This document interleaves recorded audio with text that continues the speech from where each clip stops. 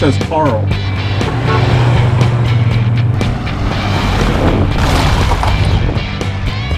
What in the world is that? I mean, they've never seen anything like it.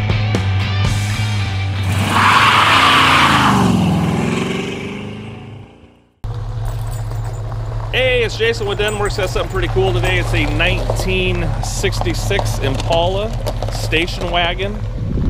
Really cool car. I've actually owned a lot of station wagons and they're just, they're pretty hot rigs. One of the favorite things I like about this though, check this out real fast. Factory 396. When's the last time you saw 396 in a station wagon? Factory four barrel 325 horse. So this thing uh, gets up and scoots. Stanley likes it a lot, taking them on a few little trips. Hey, if you want to check out our website, it's Denwerks, D E N W E R K S. It's E R K S. You can check us out on Instagram, Facebook, and just see what we're doing. When we get new rigs, we pop them on uh, Instagram uh, first. So if you want to take a sneak peek on uh, Bring a Trailer, what's coming up, you can see it there. And also, if you want to uh, do a consignment with me or something like that, or have me help you sell something, we'd be glad to help. You just have to think like me and want to be able to show everything, you know, issues and you know if we need to make upgrades, we can do that. So we always want everyone to know what they're buying and stuff. So, anyways, we'll just uh, walk around here. I'm going to show you the lights uh, first. We'll go up here to the front. I've actually got a little magnet uh, today because the body work on this thing is not really hot, um, but it's not a Bondo Queen. You can see here the, the lights are working down there in the bottom. Headlights, bright lights, and the uh, blinkers we got left. You know, you think it beeps pretty simple, you know, just having lights work, but on an old car, there's always something, something wrong. So when you look down the side, it's a little wavy. You know, it's got uh, some issues down there. Good thing it's in white, but it does have some waviness uh, to it. You know, it wasn't a expensive paint job by any means, but the nice thing is there's very little rust, a couple little bubbles. This is actually a really solid uh, wagon overall.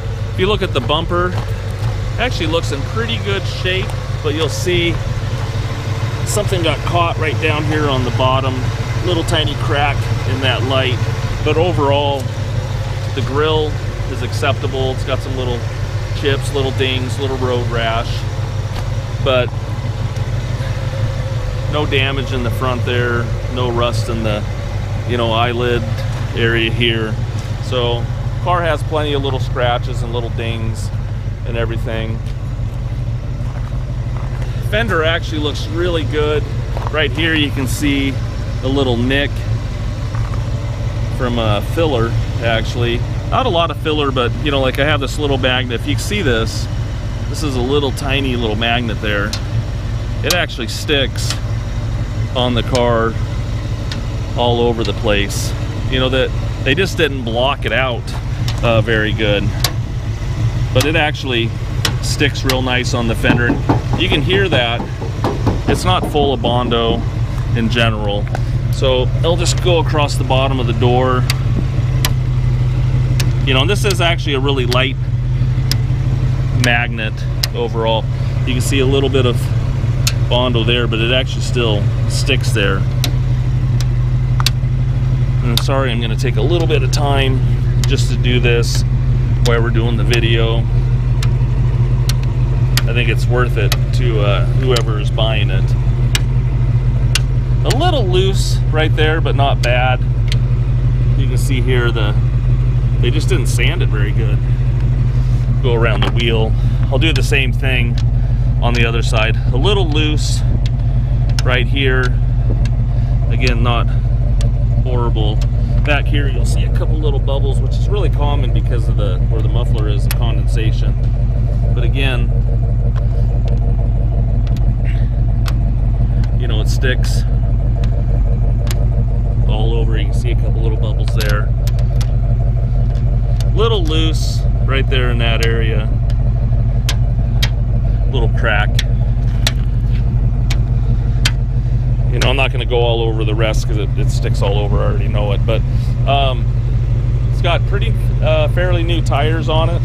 It's got SS caps, which aren't correct, but they look good on it.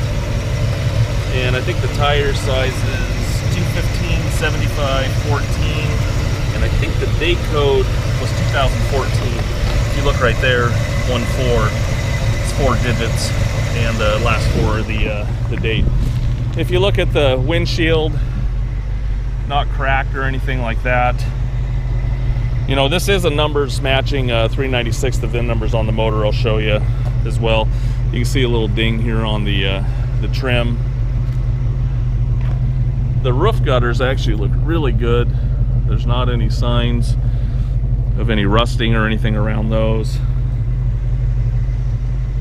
They actually look pretty good.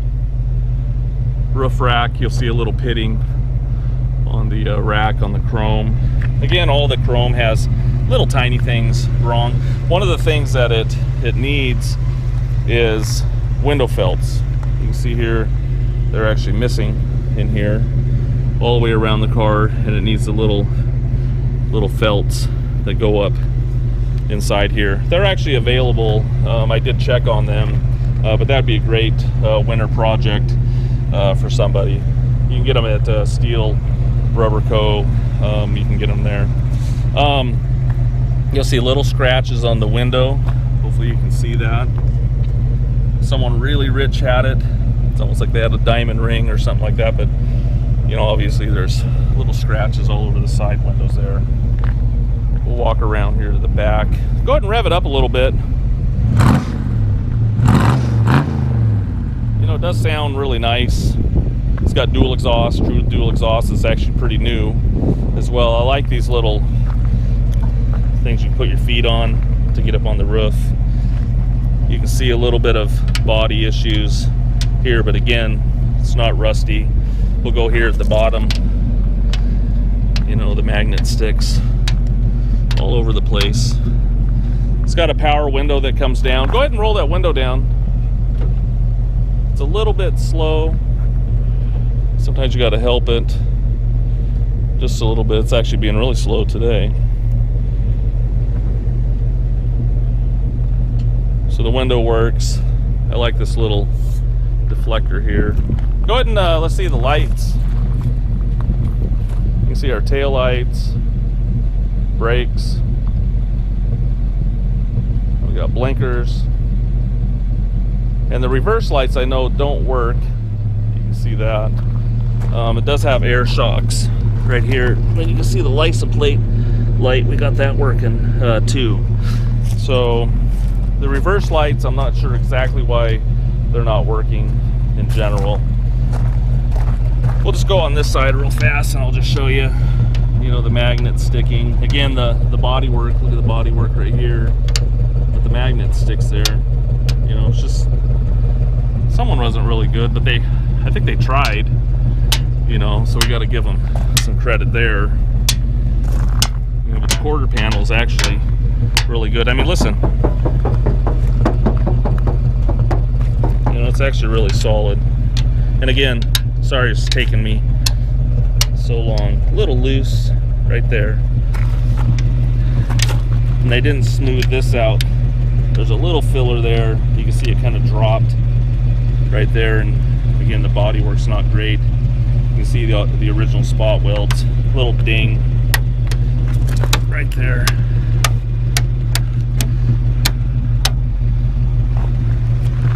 Yeah, we'll go at the bottom of the door here. Little crease. Sorry to beat my own car up, but you know, that's what we do.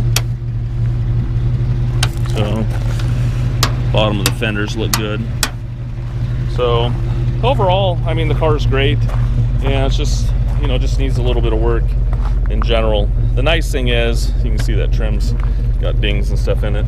The nice thing is the car is really solid underneath, you know, forward in the video if you want. Very, very, very nice underneath this car. You'll actually be pretty impressed. So, and again, you know, finding a 396 station wagon, hard to find. We'll show you some more stuff.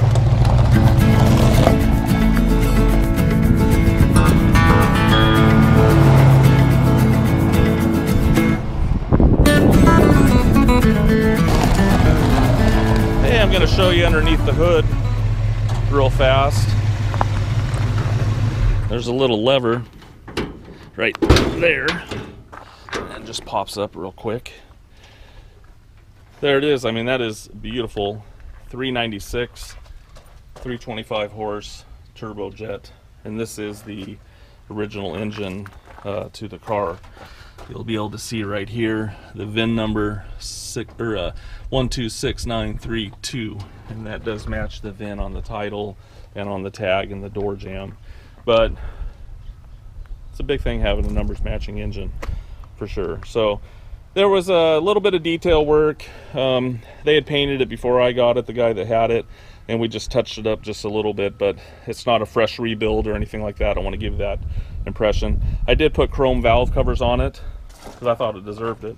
And we put new uh, valve cover gaskets on it as well. New alternator. Um, you can see it's got power brakes. If you're wondering what this little unit is, it's kind of a he, the guy that I got it from told me it was a factory uh, piece, and I actually uh, saw this on another car here recently.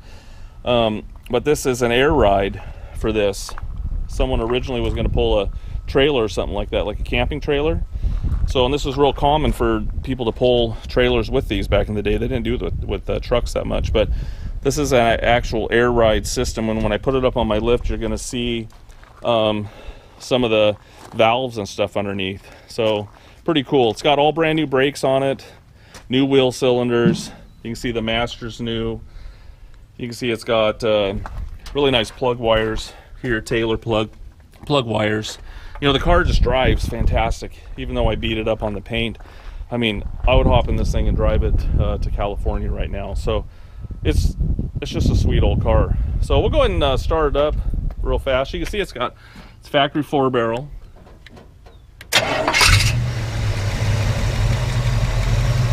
Actually runs really nice. Rev it up a little bit.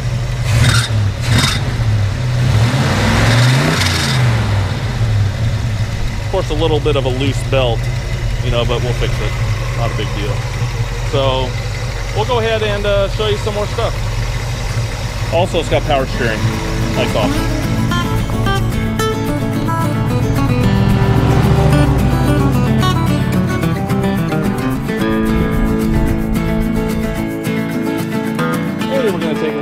Uh, interior real fast. Door shut, pretty nice. You hear a little rattling because I showed you earlier that the uh, window felts and stuff and the little swipes aren't in there. But overall, the interior is actually really nice. Someone spent some money on this at some point, redoing the seat covers. I'm pretty sure these are, are redone. I couldn't imagine that those are original. Um, but it looks like it was done a little while ago. Uh, not perfect.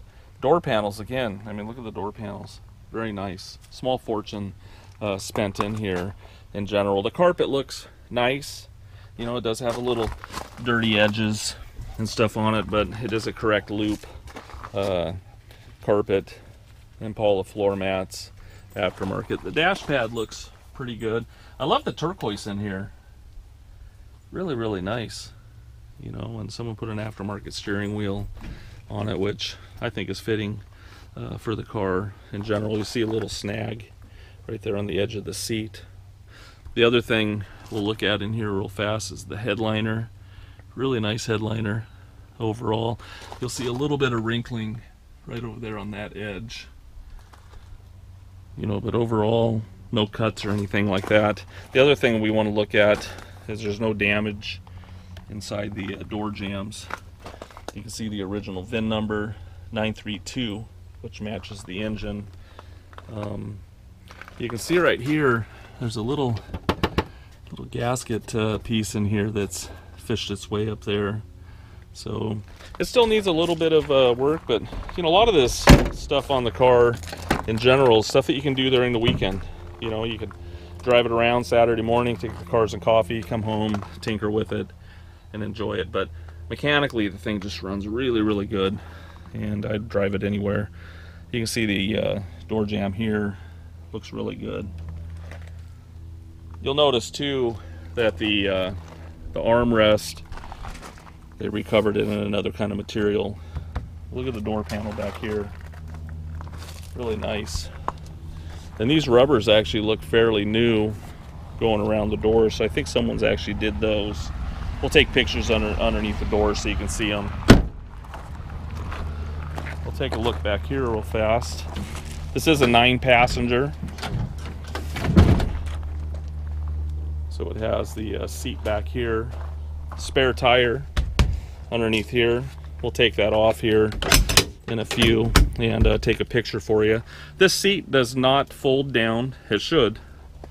You can see there's a little bracket and it's missing the bottom part of the hinge over on this side.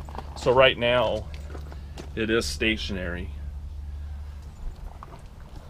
If you look inside these jams, you can see the paint's a little grody in here, but uh, overall it's not rusty, you know, especially in here, that's what we're looking at. You know, it's really just a, a great old car. Down in here, it's not rusty or, or hit. We'll take a look on this side. Again, the interior looks nice. You'll see a little bit if you look here, needs to be cleaned off a little bit. A little bit of overspray from some paint uh, that was in here.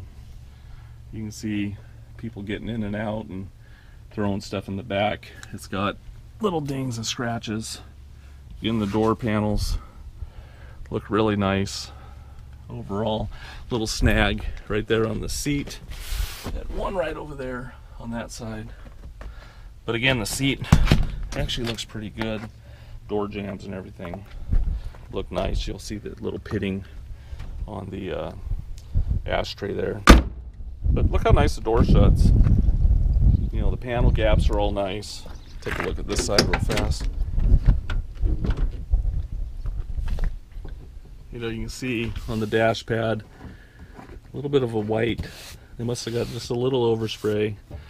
So a little cleaning. Hopefully you can get some of that off there or maybe re-dye the top there but overall I think the interior looks great especially for a driver you know this is a car that you can just get out uh, and enjoy and it's a solid rig for sure and I'll say it one more time 325 car or uh, 396 with 325 horse. So anyways we'll take a look at some more stuff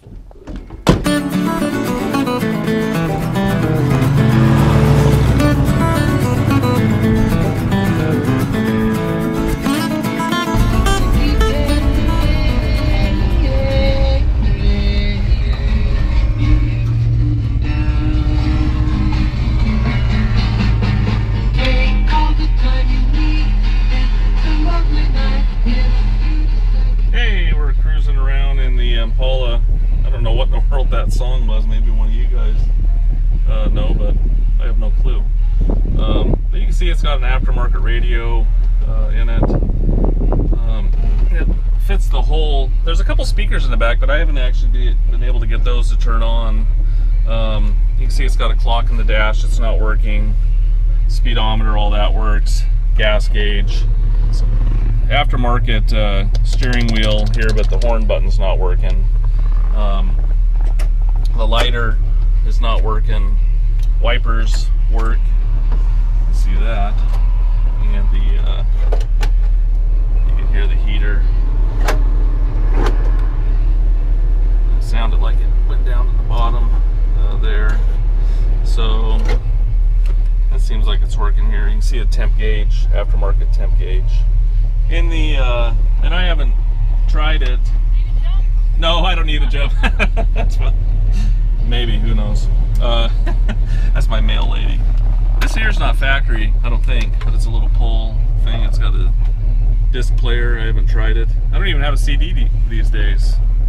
There's a sticker, a CD changer uh, there. I would imagine it works. So, um, anyways, that's a nice addition in there overall. The nice thing about this car, you know, I know some of the things aren't working here. The uh, mechanically, we got it all pretty dialed in here. If you uh, look underneath there, there's the uh, thing for the uh, rear window, which is a little bit slow, but we'll uh, cruise it around. The nice thing is, it's got a lot of power, and it's really fun to cruise for sure. You can step on it, it actually goes somewhere. You know, not super fast, but a lot of power. Three speed transmission, turbo uh, 400. We'll go ahead and uh, put the brakes on. Actually stops pretty nice and straight, floats a little bit, not a lot of shake in the steering wheel. Actually stopped pretty straight there. So we'll uh, cruise it around a little bit more and uh, show you some more stuff.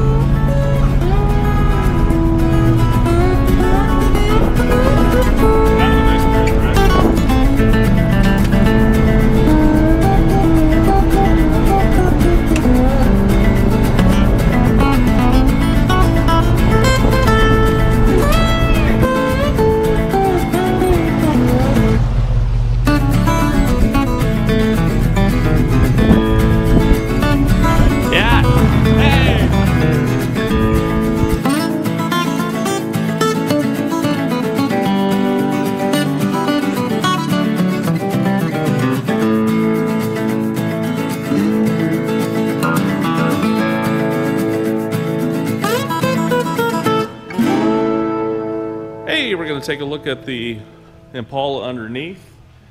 We like to do videos of uh, obviously the outside and do them underneath for sure. It just gives me a chance to point out different things, things you wouldn't normally see in a photo.